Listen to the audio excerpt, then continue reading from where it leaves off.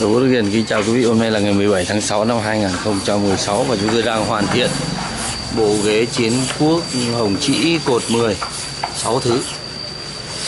Ừ, Đức Hiền thì ờ, chuyên về các mặt hàng gỗ mun từ bàn ghế, giường, tủ, kệ tivi, tranh tượng.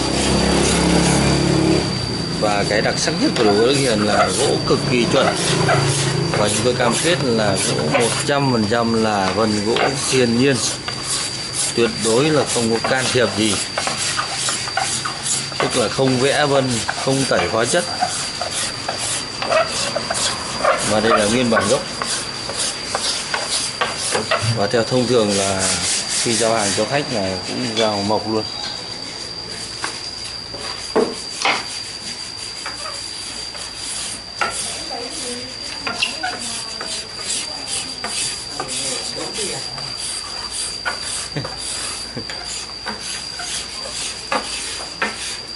Hiện nay bên này chúng tôi đang hoàn thiện bộ ghế và bên kia thì đang làm ờ, hai chiếc giường cho anh Hoàng Minh Đang.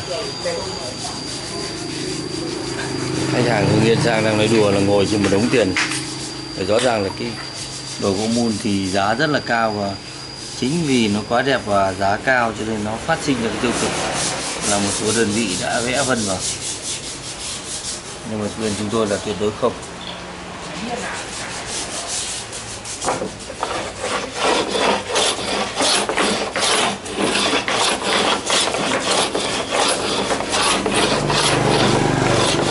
không mua nó đen thì nó coi nó đen.